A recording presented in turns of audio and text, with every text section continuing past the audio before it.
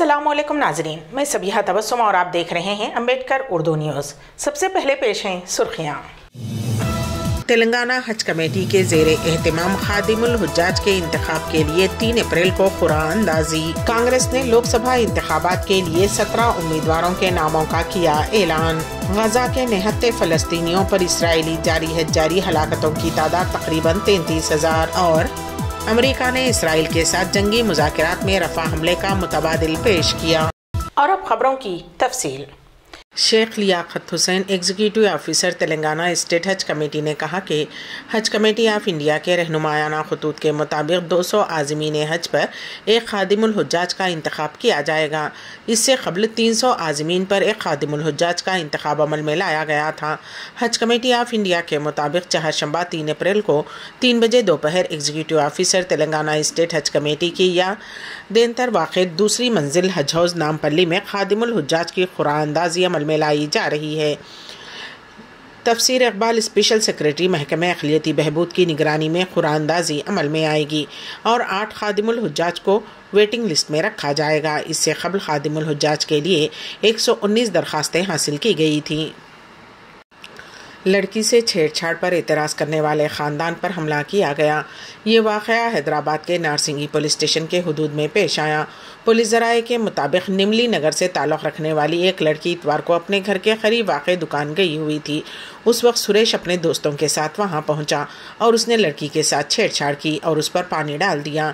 लड़की ने अपने घर वालों से इस बात की शिकायत की, जिस पर पीर के दिन लड़की के माँ बाप नौजवानों से बातचीत के लिए पहुँचे। उनके दरमियान बहस तकरार हुई और बरहम सुरेश और उसके साथियों ने लड़की के बाप के गले पर तेज धारदार खंजर से वार कर दिया और मदाखलत पर लड़की की माँ पर भी हमला किया गया। साथ ही लड़की और उसके भाई पर भी हमला किया गया। जख्मियों को हॉस्पिटल मुंतकिल किया गया। पुलिस ने इस सिलसिले में केस दर्ज करते हुए सुरेश प्रावीण और उनके तीन, तीनों साथियों को गिरफ़्तार कर लिया है। कांग्रेस ने मंगल को बिहार, आंध्र प्रदेश, उड़ीसा और मगरबी बंगाल में लोकसभा इंतबात के लिए अपने सत्रह उम्मीदवारों के नामों का ऐलान कर दिया है। कांग्रेस के जनरल सेक्रेटरी के सी वेणुगोपाल ने ये इतला देते हुए कहा कि पार्टी की सेंट्रल इलेक्शन कमेटी ने 2024 के लोकसभा इंतबात के लिए अपने सत्रह उम्मीदवारों के नामों का इंतखब किया है। उन्होंने बताया कि पार्टी ने जिन उम्मीदवारों के नामों का फैसला किया है, उनकी फहरिस्त इस तरह है। बिहार के किशनगंज से मोहम्मद जावेद कटियार से तारिक तारिक अनवर भागलपुर से अजीत शर्मा आंध्र प्रदेश के काकीनाडा से एन एम पल्लम राजू राजमंद्री से G Rudra Raju Bapatla S U J D Salim Orissa के करनूल से पी जी रामपल्ली यादव के नाम शामिल हैं। बारगढ़ रिज़र्व से संजय भोई, सुंदरगढ़ रिज़र्व से जनार्दन डेहोरी, बालीनगर से मनोज मिश्रा, कालाहांडी से द्रौपदी मांझी नौरंगपुर एसटी से भजबल माझी कंधमाल से अमीर चंद नायक, बहरामपुर कोरापट से रश्मि रंजन पटनायक, एसटी सप्तगिरी से सप्तगिरी शंकर अलका और दार्जिलिंग, मगरबी बंगाल से डॉक्टर मनीष तमांग के नाम शामिल हैं। मुख्तार अंसारी की तायद में व्हाट्सएप स्टेटस लगाने वाले उत्तर प्रदेश लखनऊ मुलाजिम पुलिस के खिलाफ मअतली की कार्रवाई शुरू कर दी गई है।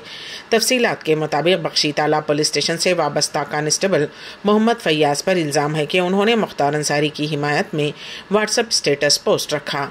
स्टेटस का स्क्रीनशॉट सोशल मीडिया पर तेज़ी के साथ वायरल हो गया। मोहम्मद फैयाज जो उत्तर प्रदेश पुलिस से वाबस्ता हैं के खिलाफ सोशल मीडिया पर हंगामा खड़ा कर दिया गया और इल्ज़ाम लगाया गया कि ये पुलिस मुलाजिम से ज़्यादा अंसारी गैंग मेंबर ज़्यादा लगता है। यूपी पुलिस और डीजीपी को टैग करके कार्रवाई का मुतालबा किया गया है कि कांस्टेबल को मअतल कर दिया जाए। बाद अजाम पुलिस ने हरकत में आते हुए इलेक्शन कमीशन को एक मकतूब रवाना किया और मुलाजिम पुलिस की मअतली की सिफारिश के लिए इजाज़त तलब की गई। डिप्टी कमिश्नर पुलिस ने बताया कि इंतबी जबत अखलाक नाफिज है, इसलिए पुलिस बरह रास्त कार्रवाई नहीं कर सकती। इसलिए कांस्टेबल फैयाज की मअतली के लिए इलेक्शन कमीशन को मकतूब रवाना किया गया है। मजीद कार्रवाई इलेक्शन कमीशन की हिदायत के मुताबिक की जाएगी। सुप्रीम कोर्ट ने मंगल को आम आदमी लीडर संजय सिंह को दहली एक्साइज पॉलिसी घोटाले से मुतलक मनी लॉन्ड्रिंग केस में जमानत दे दी है। जस्टिस संजीव खन्ना, दीपांकर दत्ता और पीबे वर्ले की बेंच ने संजय सिंह की रिहाई का हुक्म दिया। संजय सिंह छह माह से जेल में हैं। इन्फोर्समेंट डायरेक्टोरेट ने कहा कि अगर आम आदमी लीडर संजय सिंह को इस केस में जमानत दी जाती है तो उसे कोई एतराज़ नहीं है। सुप्रीम कोर्ट ने आम आदमी पार्टी लीडर को हिदायत दी है कि वो दहली एक्साइज पॉलिसी घोटाले से मुंसलिक मनी लॉन्ड्रिंग केस पर कोई तबसरा न करें। सुप्रीम कोर्ट ने मंगल को इन्फोर्समेंट डायरेक्टोरेट से पूछा कि क्या उसे दहली एक्साइज पॉलिसी घोटाला केस में गिरफ़्तार आम आदमी पार्टी के लीडर संजय सिंह की मजीद तहवील की ज़रूरत है। जस्टिस संजीव खन्ना, जस्टिस दीपांकर दत्ता और जस्टिस पी बे वराले की बेंच ने ईडी की तरफ़ से पेश होने वाले additional solicitor general S V Raju से कहा कि वो हिदायत लें और कोर्ट के लंच सेशन में उससे आगाह करें कि आया सिंह की मजीद तहवील की ज़रूरत है या नहीं। अदालत ने तबसरा करते हुए कहा कि संजय सिंह ने छः माह जेल में गुजारे हैं। उत्तर प्रदेश के बाराबंकी में एक बड़ा हादसा पेश आया। लखनऊ चिड़ियाघर में पिकनिक मनाने गए सूरतगंज कंपोजिट स्कूल हरका के बच्चों की बस देवा इलाके में हादसे का शिकार हो गई। हादसे में छह बच्चे जाँ हो गए, जबकि हादसे में 25 बच्चे शदीद जख्मी हुए हैं। हादसे की इतला मिलते ही पुलिस और इंतजामिया की टीम मुकामी लोगों के साथ मिलकर इमदादी कार्रवाइयों में मसरूफ़ है। पुलिस ने जख्मियों को करीबी हॉस्पिटल में दाखिल कराया है। गौरतलब हो के तमाम जख्मी बच्चों को इलाज के लिए ज़िला हॉस्पिटल ले जाया गया। हादसा बाराबंगी के देवा थाना इलाके के सालारपुर में पेश आया। तमाम बच्चे पिकनिक मनाने लखनऊ चिड़ियाघर गए थे।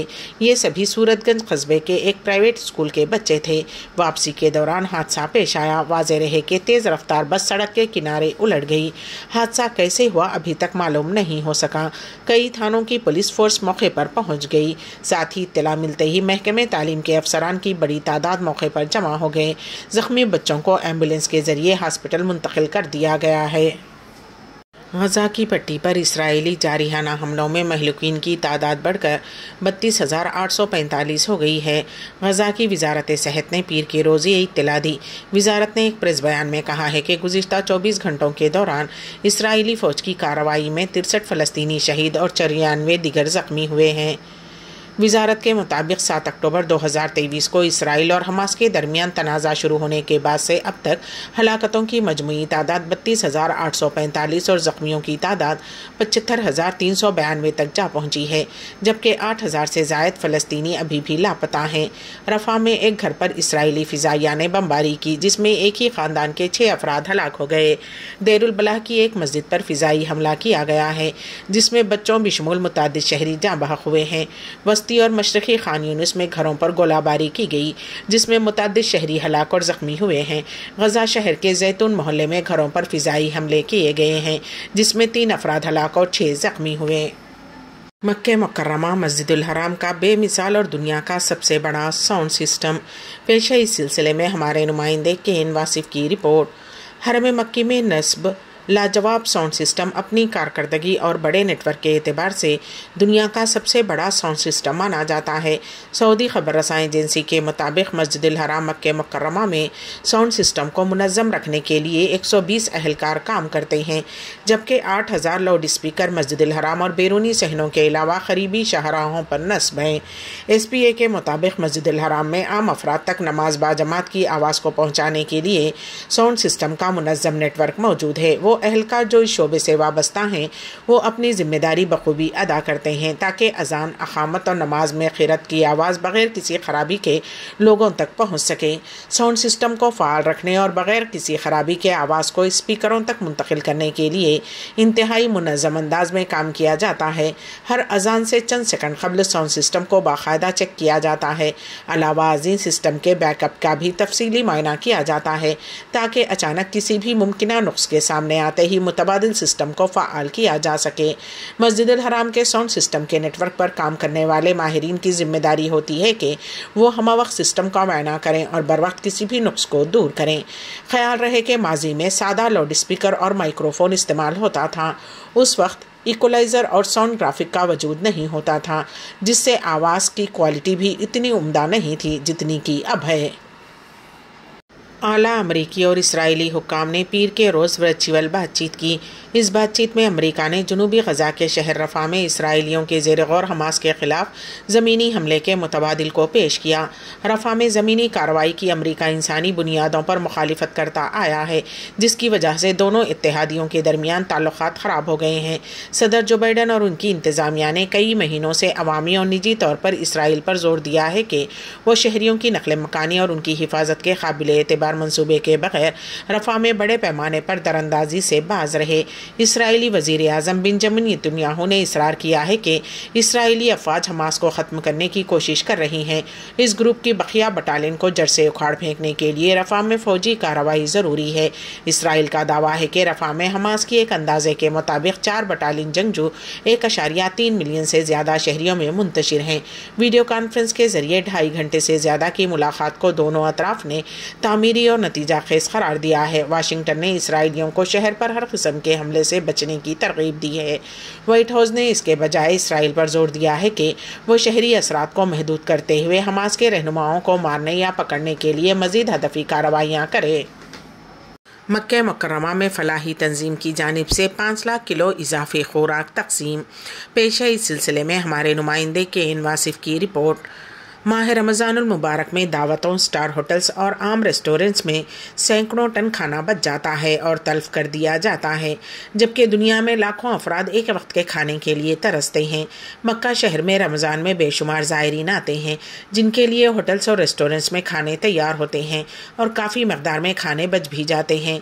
मक् मुकरमा की फलाही तंजीम इक्राम की जानब से गुज्त दो हफ़्ते के दौरान पाँच लाख किलो इजाफी खुराक को तल्फ होने से बचाते हुए उसे ज़रूरतमंद मंदों में तकसीम किया गया। सऊदी खबर रसा एजेंसी एस पी ए से गुफ्तु करते हुए फलाही तंजीम इक्राम के डायरेक्टर अहमद अल मुतरफ़ी ने बताया कि मस्जिद हराम के अतराफ में फाइव स्टार होटल्स और कैटरिंग सर्विसेज़ के तैयार करदा खानों को तल्फ करने से बचाने के लिए खसूसी इंतज़ाम किए गए हैं।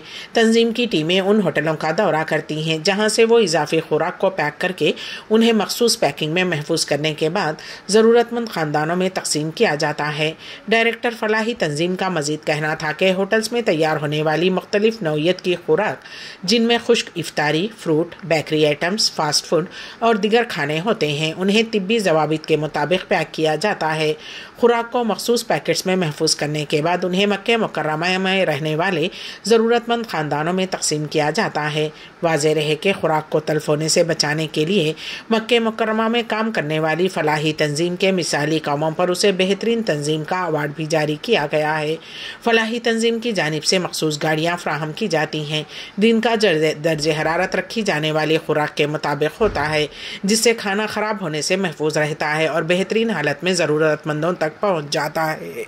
इस्तंबुल के एक नाइट क्लब में तजन व आरइश के दौरान आग लगने की वजह से उनतीस अफराद हलाक और दिगर अफराद बुरी तरह जख्मी हो गए।